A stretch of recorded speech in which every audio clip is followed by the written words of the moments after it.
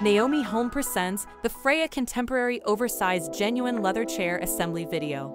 Before we begin, please make sure to have the assembly instructions on hand to follow along and have all the parts listed. This leather chair comes as shown with solid hardwood frame and chic squared arms create a statement piece for your living space.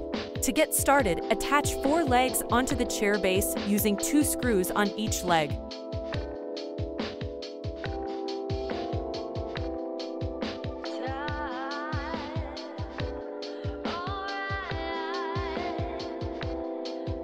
Gently hammer in the leg protectors.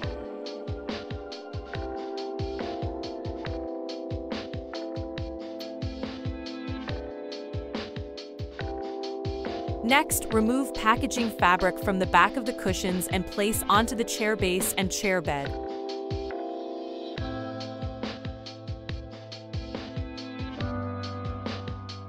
And there you have it, your Freya Contemporary Oversized Genuine Leather Chair is complete and ready for use. Thanks for watching. Please like, subscribe, and share for more Naomi Home content. You can find the product link and more in the description below.